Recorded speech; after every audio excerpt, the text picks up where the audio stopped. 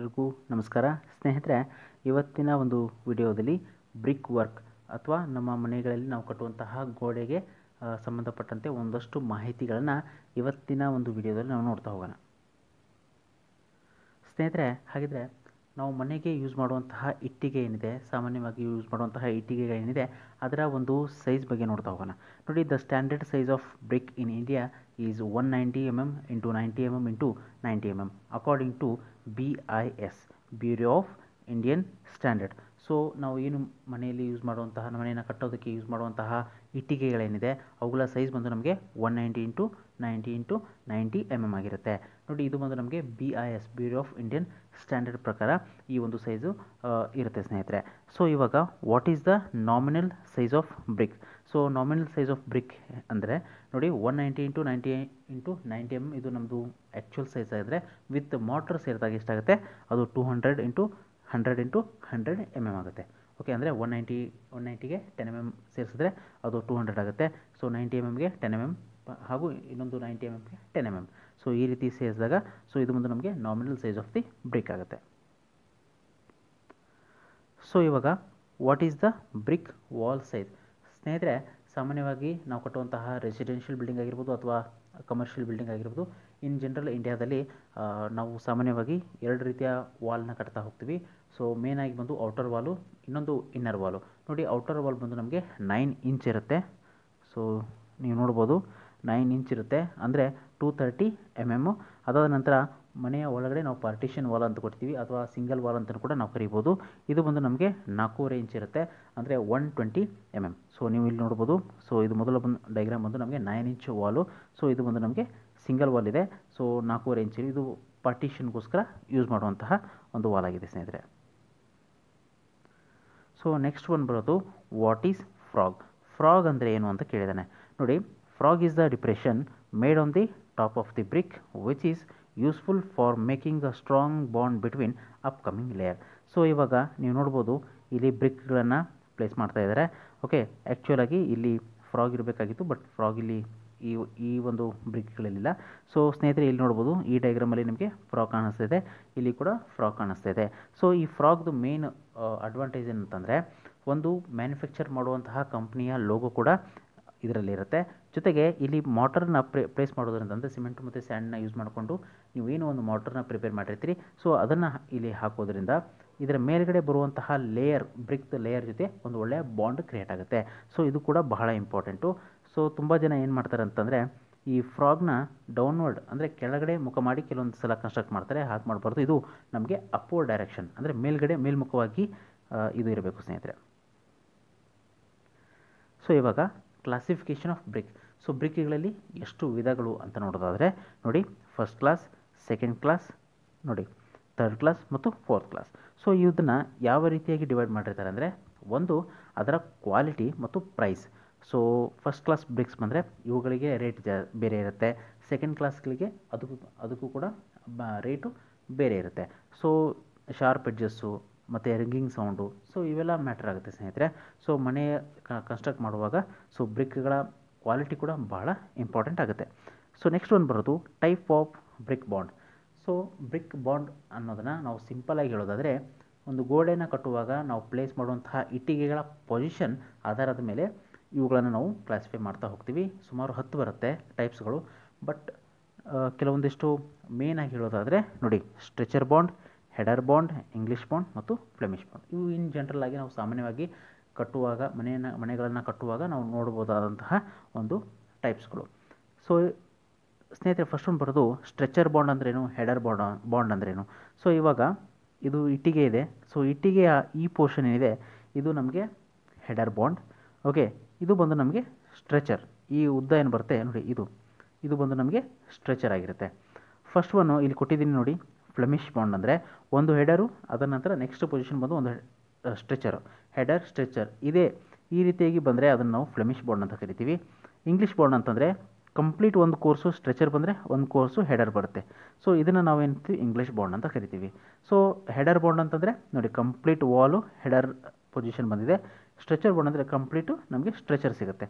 So ಈ ರೀತಿಯಾಗಿ ಹಲವಾರು ವಿಧಗಳು ಬರುತ್ತೆ. ಸುಮಾರು ಹತ್ತು ಬರುತ್ತೆ. ಬಟ್ ಇನ್ ಜನರಲ್ ಆಗಿ ನಾವು ಸಾಮಾನ್ಯವಾಗಿ ಯೂಸ್ ಮಾಡೋದು ಈ ಪ್ರಮುಖವಾಗಿ ನಾಲ್ಕು.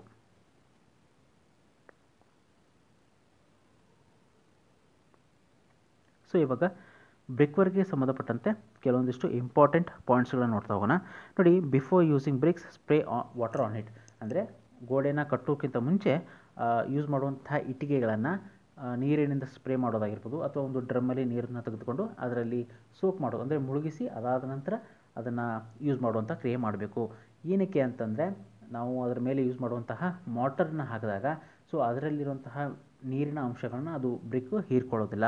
ಸೊ ಯಾವಾಗ ಅದು ಹೀರ್ಕೊಳ್ಳಿಲ್ಲ ಅಂತ ಅಂದಾಗ ಏನಾಗುತ್ತೆ ಸೊ ಮೋಟರ್ನಲ್ಲಿ ನೀರಿನ ಅಂಶ ಹಾಗೆ ಇರುತ್ತೆ ಮತ್ತು ಹೈಡ್ರೇಷನ್ ಪ್ರೊಸೆಸ್ಗೆ ಅದು ಹೆಲ್ಪ್ ಆಗುತ್ತೆ. ಹೈಡ್ರೇಷನ್ ಹೈಡ್ರೇಷನ್ ಪ್ರೊಸೆಸ್ ತುಂಬಾ ಇಂಪಾರ್ಟೆಂಟು ಸೊ ನೀರಿನ ಒಂದು ಕಾಂಟ್ಯಾಕ್ಟ್ ಇದ್ದಾಗ ಸಿಮೆಂಟಲ್ಲಿ ಏನಾಗುತ್ತೆ? ಒಂದು ಹೈಡ್ರೇಷನ್ ಪ್ರೊಸೆಸ್ ಆಗಿ ಸ್ಟ್ರೆಂತ್ ಗೇನ್ ಆಗ ಸಾಧ್ಯ ಆಗುತ್ತೆ. ಸೊ ಇಲ್ಲಿ ವಾಟರ್ ಲಾಸ್ ಆಗೋದು ಕಡಿಮೆ ಆಗುತ್ತೆ. ಸೊ ಫಸ್ಟ್ ಒನ್ ಆಯಿತು. ಸೊ ಎರಡನೇದು ಬಂದು don't use broken bricks in nine inch wall so nine inch ವಾಲ್ನ construct ಮಾಡುವಂಥ ಸಂದರ್ಭದಲ್ಲಿ ಈ ಬ್ರೋಕನ್ ಅಂದರೆ ಕಟ್ಟಾಗಿರುವಂತಹ ಇಟ್ಟಿಗೆಗಳನ್ನು ಆದಷ್ಟು ಅವಾಯ್ಡ್ ಮಾಡಿ. ಅದನ್ನು ನಾವು ನಾಲ್ಕೂವರೆ ಇಂಚು ವಾಲ್ನಲ್ಲಿ ಯೂಸ್ ಮಾಡಿದ್ರೆ ನಡೀತೆ ಬಟ್ ಮೇನ್ ವಾಲ್ ಏನಿರುತ್ತೆ ಔಟರ್ ವಾಲಲ್ಲಿ ಯೂಸ್ ಮಾಡಲಿಕ್ಕೆ ಹೋಗಬೇಡಿ. ಸೊ ನೋಡಿ ಇಂಗ್ಲೀಷ್ ಬಾಂಡ್ ಇಂಗ್ಲೀಷ್ ಬಾಂಡ್ ಮತ್ತು ಫ್ಲೆಮಿಷ್ ಬಾಂಡ್ ಸಾಮಾನ್ಯವಾಗಿ ಯೂಸ್ ಮಾಡುವಂತಹ ಎರಡು ಟೈಪ್ಗಳು. ಓಕೆ ಸೊ ನೆಕ್ಸ್ಟ್ ಪಾಯಿಂಟ್ ನೋಡ್ತಾ ಹೋಗೋಣ. Brick work near column scratch the column surface ನೋಡಿ ಕಾಲಮ್ಗಳ ಹತ್ರ ವಾಲ್ನ ತೆಗೆದುಕೊಳ್ಳುವಂಥ ಸಂದರ್ಭದಲ್ಲಿ ಒಂದು ದೊಡ್ಡ ಸಮಸ್ಯೆ ಆಗ್ತಿರುತ್ತೆ. ಅದು ಕ್ರ್ಯಾಕ್ಗಳು ಬರುವಂಥದ್ದು. ಸೊ ಎಲ್ಲಿ ಕಾಲಮ್ ಮತ್ತು ಇಟ್ಟಿಗೆ ಈ ವಾಲ್ ಏನಿದೆ ಸೊ ಆ ಕರೆಕ್ಟು ಎರಡು ಸೇರುವಂತಹ ಜಾಗದಲ್ಲಿ ನಮಗೆ ಕ್ರ್ಯಾಕ್ಗಳು ಇನ್ ಜನರಲಾಗಿ ಸಿಗುತ್ತೆ. ಸೊ ಇವಾಗ ಏನು ಮಾಡಬೇಕು ಅಂದರೆ ಇದಕ್ಕೆ ಪರಿಹಾರ ಅಂತಂದರೆ ಆ ಕಾಲಮ್ನ ಸರ್ಫೇಸ್ ಏನಿದೆ, ಅದನ್ನು ಸ್ಕ್ರ್ಯಾಚ್ ಮಾಡಬೇಕು. ಸುತ್ತಿಗೆಯಿಂದ ಅದಕ್ಕೆ ಹೊಡೆದು ಅದನ್ನು ಸ್ಕ್ರ್ಯಾಚ್ ಮಾಡಬೇಕು. ರಫ್ ಸರ್ಫೇಸ್ ಮಾಡಬೇಕು. ಅದಾದ ನಂತರ ಒಂದು ಸಿಮೆಂಟ್ ನೀರನ್ನ ತಗೊಂಡು ಅದಕ್ಕೆ ಸ್ಪ್ರೇ ಮಾಡಿ. ಅದಾದ ನಂತರ ವಾಲ್ನ ಕನ್ಸ್ಟ್ರಕ್ಟ್ ಸ್ಟಾರ್ಟ್ ಮಾಡಬೇಕು ಸ್ನೇಹಿತರೆ. ಸೊ ಇವಾಗ ಮೋಟ್ರ್ ತಿಕ್ನೆಸ್ ಬಂದು ನಿಮಗೆಲ್ಲ ಗೊತ್ತಿರುತ್ತೆ ಟೆನ್ ಎಂ ಎಂ ಇರುತ್ತೆ, ಮತ್ತು ರೇಕಿಂಗ್ ತಿಕ್ನೆಸ್ ಬಂದು ನಮಗೆ fifteen M M fifty raking ಅಂತಂದರೆ ಸೊ ಕಂಪ್ಲೀಟ್ ವಾಲ್ನ ಕನ್ಸ್ಟ್ರಕ್ಟ್ ಮಾಡಿದಾದಮೇಲೆ ಒಂದು ಪ್ಲೇಟ್ನ ಅಥವಾ ಒಂದು ವುಡನ್ ಪ್ಲೇಟ್ನ ತೊಗೊಂಡು ಸೊ ನಾವು ಅಲ್ಲಿ ಮೋಟ್ರ್ ಏನಿರುತ್ತೆ, ಅಲ್ಲಿ ನಾವು ಸ್ಕ್ರ್ಯಾಚ್ ಮಾಡ್ತಾ ಹೋಗ್ತೀವಿ. ಓಕೆ ಅದು ಬಂದು ನಾವು ರ್ಯಾಕಿಂಗು ಇದಕ್ಕೆ ಏನಕ್ಕೆ ಮಾಡ್ತಾ ಅಂದರೆ ನೆಕ್ಸ್ಟು ಪ್ಲಾಸ್ಟರ್ ಹೊಡೆಯುವಂಥ ಸಂದರ್ಭದಲ್ಲಿ ಅದು ತುಂಬಾ ನೀಟಾಗಿ ಕೂತ್ಕೊಳ್ಳುತ್ತೆ.